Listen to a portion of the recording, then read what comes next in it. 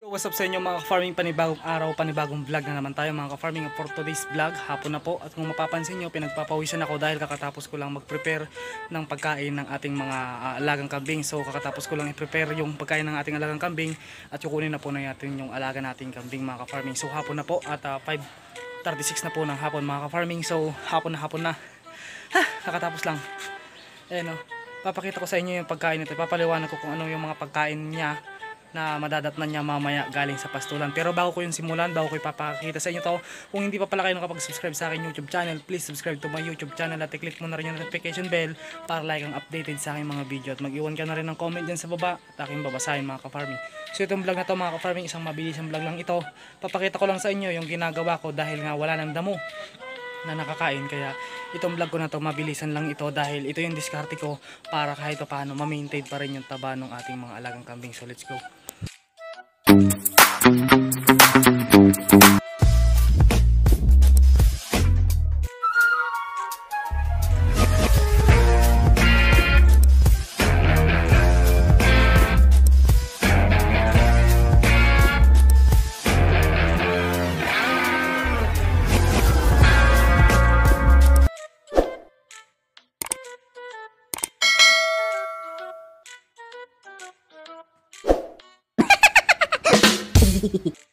So yun mga ka-farming, ano, ipapakita ko sa inyo yung puno ng saging. Ito, ayan. So ito yung ginawa ko, hiniwa-hiwa ko ito. Ayan, hiniwa-hiwa ko, isang kaldero yan, oh. Isang malaking kaldero yan. At ito yung ipapakain ko sa aking ah, alagang kambing. So ito yung papakain ko. At ito may konting feeds, romsol. At ah, ito naman inumin niya mga ka-farming. Ah, may molasses na may konting, konting molasses, ah, konting hinog na mangga. So, apat na manggang hinog. Sinama ko na rin yung balat. Tsaka may konting asin. So, marami yan. So, tiba-tiba yung ating alagang kambing. So, ipapakita ko sa inyo kung paano niya to ubusin mga ka-farming ano. So, tara, punta na tayo sa bukid. Pupuntahan ko na yung aking alagang kambing. Six and a half hours later. Yan o mga ka-farming oh. Yan o, hinog na mangga.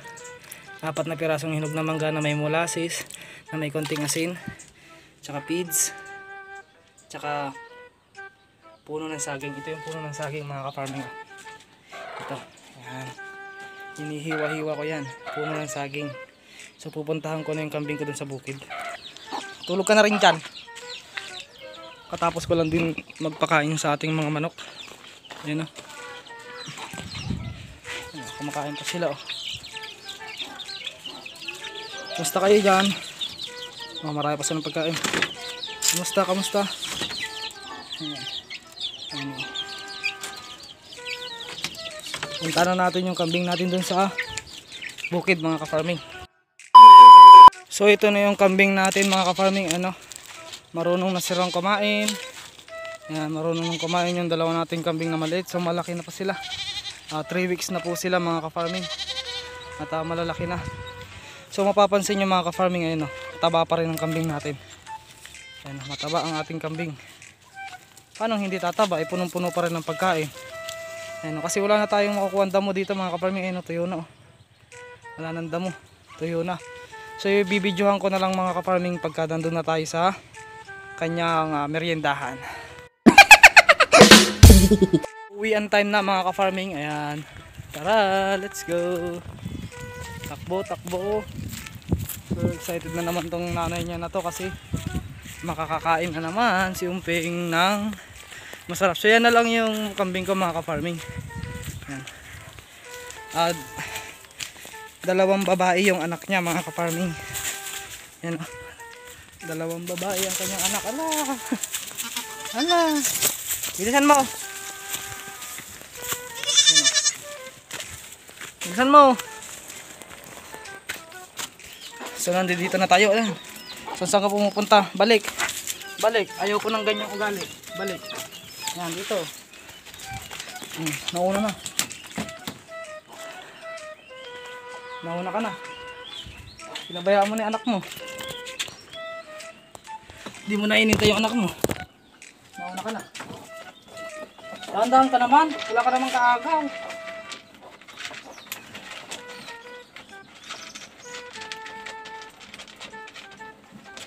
Gutom na gutom. Kasi nga wala naman ng na damo dun sa bukid.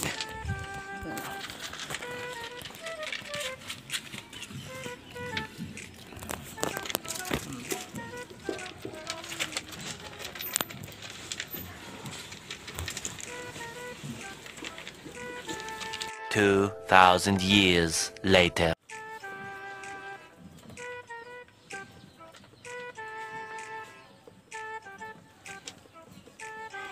Taba pa rin ng kambing natin, oh.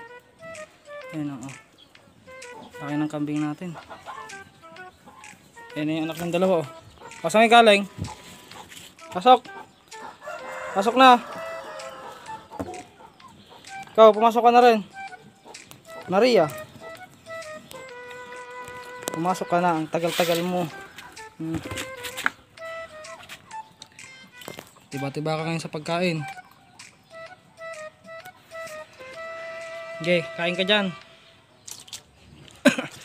Laki na kagad ng anak niya. 3 weeks pa lang. Hoy! Naway mo yung anak mo. Ayun busog na busog pa rin. 3 weeks pa lang. Mas malaki yung bunso. Ayun yung bunso. Mana sa tatay. Ito, mana sa nanay eh.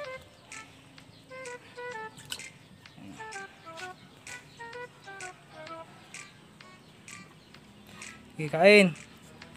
Kain siya ng puno ng saging oh.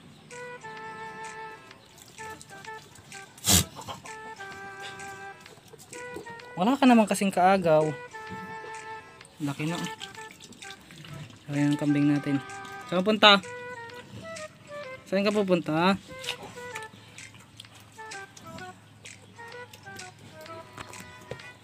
Ayan.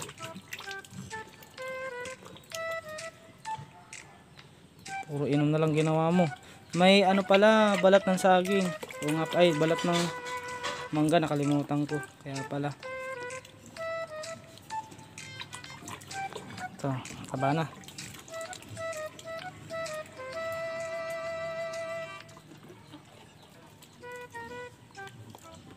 So tuturukan ko na rin pala sila ngayon ng ano, ah, vitamins. Or bukas na ng umaga. Ay hindi, ngayon na pala. Bibigyan ko sila ng vitamins.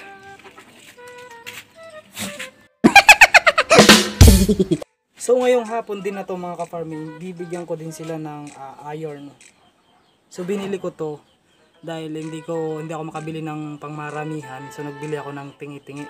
Kumbaga 25 ang isang 1 ml nito. So mahal. Ayan o. So yung ito yung ituturo ko pangalawang pagtuturo ko na to ng iron vitamins para sa ating ah, biserong kambing. So tuturukan natin. Lalagyan natin siya ng yung ano nito talim. Here is talim-talim. So ito kukunin natin yung takip niya. Yung takip nito isa.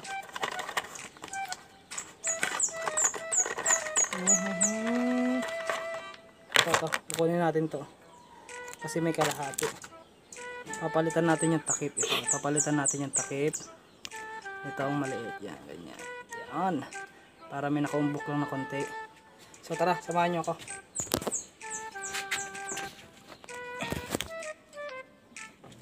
Ako na yung mauna. Uy!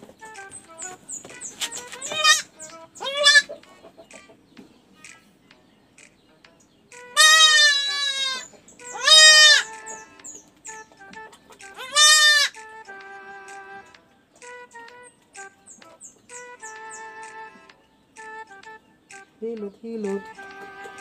Wait lang, hilutin natin. Upo. Hmm. Para makaano ka. So ito na, papalitan natin itong isa. Next. Halika rito. Halika rito, huwag ako tatakbuhan. Last na to na pagburutan.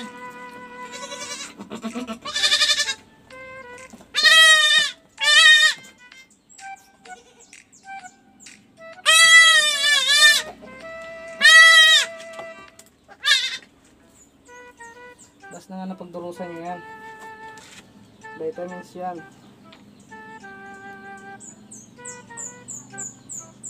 Hilot-hilotin lang natin. Ah, at Okay na. O, tapos.